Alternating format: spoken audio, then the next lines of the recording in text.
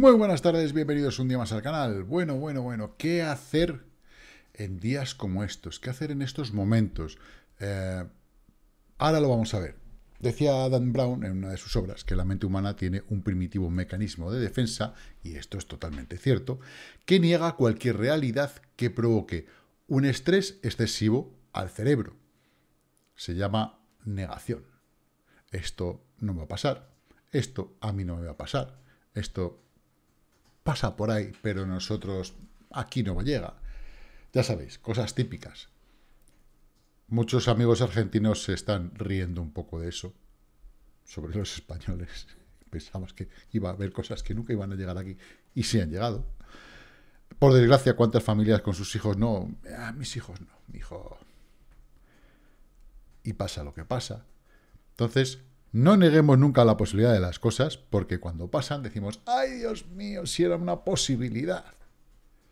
Por eso, no existen los soportes irrompibles, por eso no existen los mínimos a los que no vamos a volver, por eso hay que tener un plan A, un plan B, T, C, eh, para saber qué hacer en caso de que nuestra mm, operación se nos dé la vuelta. Y para esto siempre digo, guardar liquidez. ¿Por qué? Y os voy a poner un ejemplo muy sencillo. Vamos a suponer que tenemos un cierto margen de liquidez y el mercado se nos va arriba en contra de una operación que teníamos en cortos. Tengo liquidez para en otra cuenta o en la misma cuenta, dependiendo de cómo lo hagas, entrar en largos y compensar las pérdidas de un sitio con la subida del otro. Y viceversa. Tengo un largo, el mercado eh, eh, se me va al revés, pues meto todo lo contrario, ¿vale? Si tengo un corto, si tengo un largo, si tengo un largo, meto un corto. O, o otra opción también es, y lo más inteligente normalmente, corta pérdidas. Corta pérdidas antes de que sean mayores. Eso es algo de lo que yo creo que todos hemos pecado en un momento dado. Y si no eres capaz de aceptarlas, también te digo, hay que tener paciencia. Es decir, igual que hemos estado aguantando una pérdida durante un tiempo, joder, porque cuando llega a beneficios cortas antes de... Ya ha llegado, ya ha llegado, corto, me salgo y ya está y de repente te... y se te va para arriba. Entonces, tener claro qué es lo que vas a hacer es lo más importante. Pero tenerlo claro de verdad, no de boquilla. Porque los de holdear con cojones que están llorando, lo de tal, todo eso ya no lo sabemos, ¿vale? No estamos preparados para eso. El 99%, yo sé que hay un 1% de listos que sí. Ah, aunque ya les he visto llorar también. Pero bueno, eh, prepara un plan, síguelo e intenta sacarle partido. Venga, comenzamos.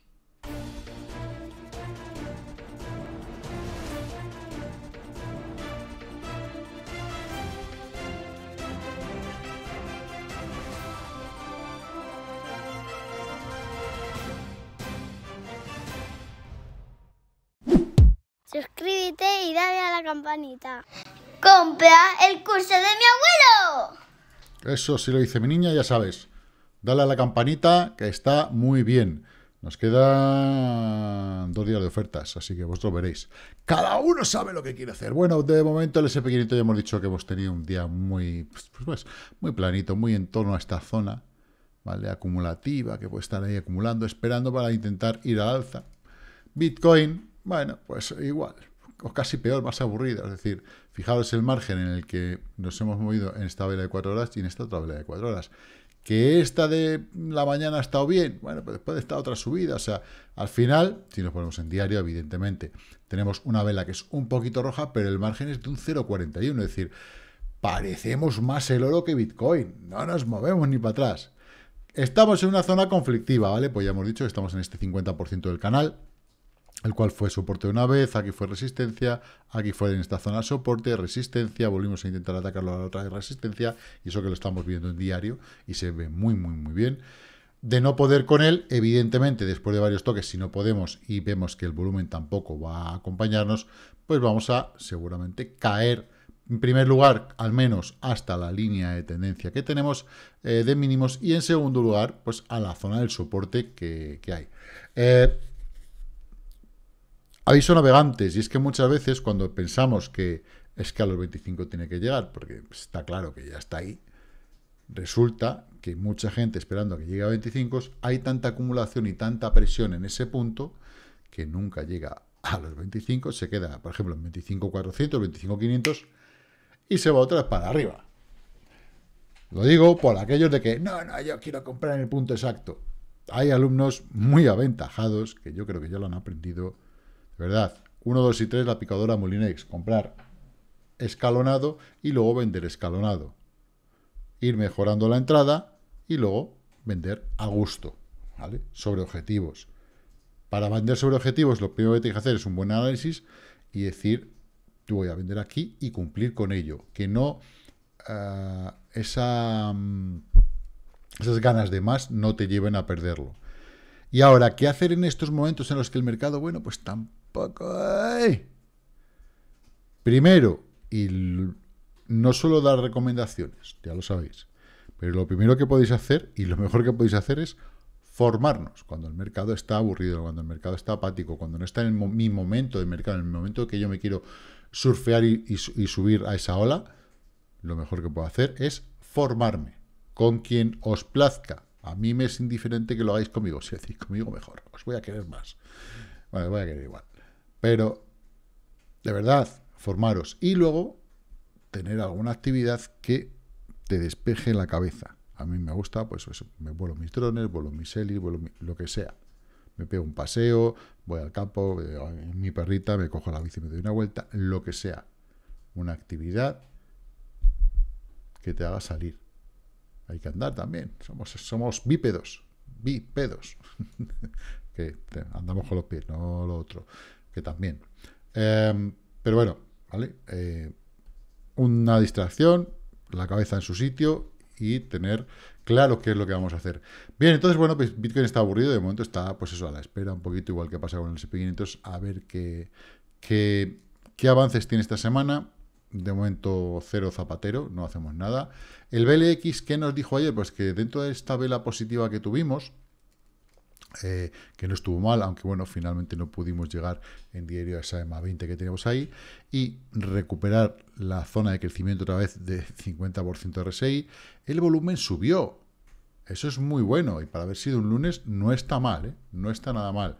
Puede ser un buen indicativo de la semana. Vamos a ver cómo seguimos avanzando. El día de hoy es un poquito rollo rollete, pero ojo, si recuperamos en diario la, la zona de 50 RSI, eh, tenemos cosas que decir. Ethereum, por su parte, pues lo está haciendo bastante bien, tiene una vela bastante bonita. Ahí, rean, El Total Market, tengo aquí Ethereum duplicado, donde tengo por aquí el Total Market, que me interesa verlo, como hacemos cada día, que está perdiendo un poquito de fuelle, ¿vale? Baja un pelín, baja un pelín de nada, es poquitito, pero claro, la dominancia de Bitcoin también.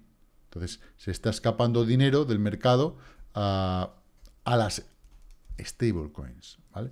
Por otra parte, ampliamos y vemos la dominancia de Bitcoin como cerró ayer aquí, en esta zona, 47-88%, y ha abierto, plaf, aquí arriba, 48, o sea, medio punto al alza, ¿eh? con un gap importante, ahora lo está recuperando, ¿vale? Y bueno, pues ahí, ahí jugando, jugando, jugando, eh, señor Bitcoin con el mercado. Por otra parte, el dólar index, pepinazo al alza, ni siquiera ha llegado a la línea de tendencia, ¿vale? Aunque bueno, si ajustásemos esta línea eh, ahí, ¿vale? Al toque ahí, toque ahí, pues tenemos casi toque ahí, pullback en esa zona eh, y vuelta al alza.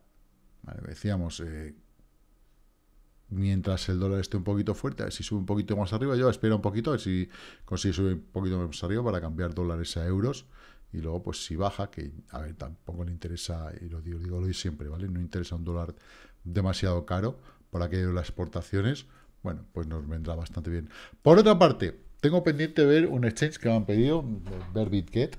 Eh, tengo que echarle un ojo, lo vi hace tiempo, ¿vale? Tengo que echarle un ojo ahora mismo. eh, y diréis, joder, esto que tienes aquí con tantas líneas. Eh, bueno, es Gala Games.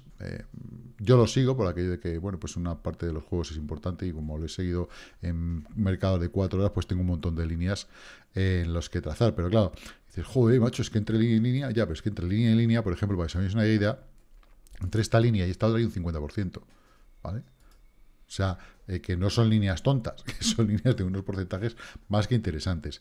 Pero, eh, bueno, pues eh, pedían en el PIP ver un poquito de Gala Games. Aquí lo estamos viendo. En principio, la zona de soporte que tenía, he estado jugando con ella. Pero claro, hay que tener en cuenta también que es una zona. Es igual que por arriba, por arriba la resistencia no está aquí, esta sería la parte de abajo de la resistencia.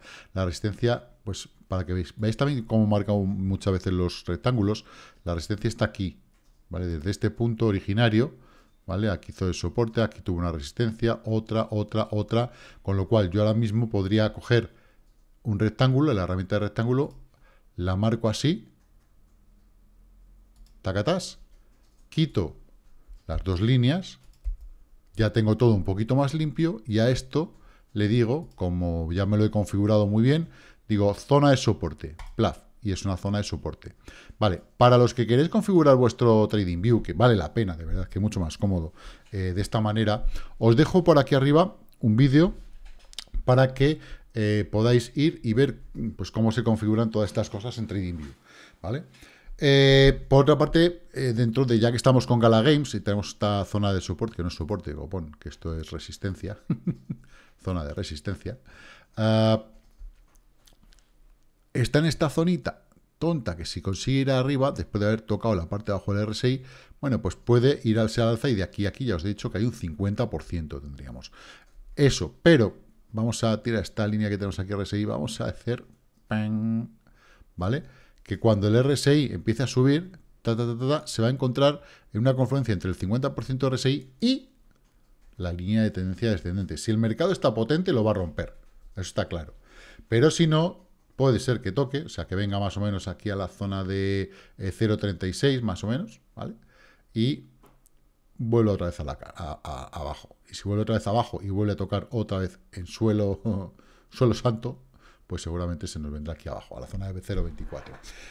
Y creo que sí sería, ahí ya sería una muy buena zona de, de compra para ramplar. ¿Esto quiere decir que esta no es una buena zona? No, quiere decir, depende de cómo se maneje ahora, ¿vale? Em, ¿Qué más tenemos por ahí así pendiente interesante? Pues bueno, el Cardano que seguimos ahí, el Cardano nuestro de cada día, por ejemplo, que ahí está intentando, bueno, que sí, que no, que no, que sí, que si me mantengo en la zona, ¿vale? Ten en cuenta que una línea de tendencia no es un punto exacto, es una zona que si mantengo y sigo aquí tonteando y sigue, y si sigue al alza y sigue al alza, pues al final, bueno, pues, pues puede ser que haga algo o puede ser que, haga otra línea de tendencia diferente, ya lo iremos viendo. en cuanto a ganadoras, perdedoras, bueno, pues perdedoras Planet, One Earth, Melos, Cava y RAT, tampoco hay demasiada cosa, y NJ ya es el que abre la brecha por debajo o por encima del 5% de pérdidas, cosa con lo cual tampoco hay demasiado, y en la parte más positiva, pues bueno, DREP eh, Library Cage, que está en un 33%, ya pasando el centavo de dólar, fijaros que estuvo en 0,85 y tal, y cada vez que hace una bajada del centavo de dólar, y ha estado dos días con un ochenta y tantos por ciento de beneficio, pues lo ha recuperado y ahí está. Eh, y sigue positivo. No digo que se trade, ¿vale? Ni, ni, de lejos. Simplemente que ese dinero gratis que ahí tenemos, pues está bien. Eh, tenemos TRPT, 30%, casi 31%, Super con un 14%, CFX, CRT y Coco en torno al 9%. Eh, DOM muy bien un 5,5% y a partir de ahí ya estamos por debajo del 5%, que bueno, pues hay unos cuantos valores, eh, por lo menos manteniendo lo, lo ganado recuperando parte de lo perdido anteriormente. Así que bueno, no está nada mal para haber sido un día tan aburrido en el cual pues lo mejor era irse a dar un paseo. Lo más interesante es esto, Bitcoin bajando medio puntito y por otra parte Ethereum subiendo prácticamente medio puntito. ¿Qué quiere decir? Que en el par Bitcoin-Ethereum pues hay ahí unas cosas bastante interesantes que ver y que de vez en cuando le tenemos que echar un ojillo. De ahí está subiendo casi un punto por ciento, un 1%. Fijaos la línea de tendencia que lleva Bitcoin y Ethereum, lo digo para los amantes del tradeo contra altcoins. ¿vale? Tenemos esta y la inmediatamente acelerada. Entonces, bueno, ahora mismo tenemos un patrón súper majo. Pero ¿qué pasa? Que debería de romper o debe de buscar la ruptura de esta línea de tendencia aproximada. Vamos a, ah, vamos a llevarnos hasta este toque, ¿vale? Un toque, dos toques, tres toques. Aquí casi no llega. Bueno, pues, pues probablemente no demasiado tiempo vuelva a llegar ahí. Desde donde estamos, a más o menos a una zona aproximadamente media de llegada, tendremos tres puntitos por ahí, sí, más o menos un 3%. Eh, bueno, pues eh, estar muy atento. ¿Por qué? Porque si tenemos esta ruptura, podremos tener una all season, ¿vale? Eh, fijaros en esto. Si no pasa la línea de tendencia y se nos vuelve a ir otra vez para abajo, eh, que bueno, tiene aquí una zona de rebote posible para volver a intentarlo, bueno, pues tendremos una Bitcoin Season o una mierda que el mercado se va a tomar por culo. Un poquito, un poquito, ¿eh? no del todo.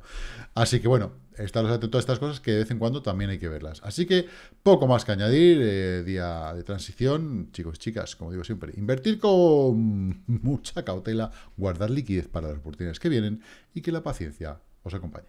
Chao, chao.